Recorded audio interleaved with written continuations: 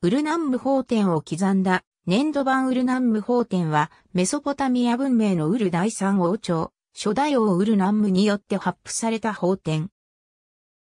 紀元前1750年頃のものとされる、ハンムラビ法典よりおよそ350年程度古く、影響を与えたと考えられる、世界最古の法典とされる。アッカド王朝滅亡後の動乱期を抜けて、シュメール第三の繁栄が始まる時世にあった、ウルナム在位中の紀元前2115年頃引く、紀元前2095年頃、シュメール語によって年度版に記された方である。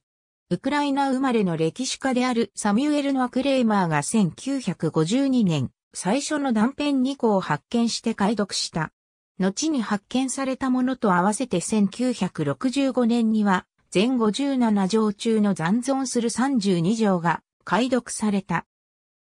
ニップルやウルから断片が出土しており、序文のほぼ全文と条文が復元されている。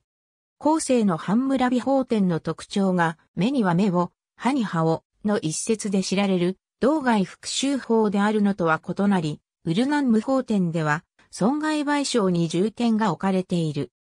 殺人、窃盗、傷害、姦淫、離婚、農地の荒廃などについての刑罰が規定されており、特に殺人、強盗、強姦、貫通は極刑に値する罪とみなされた。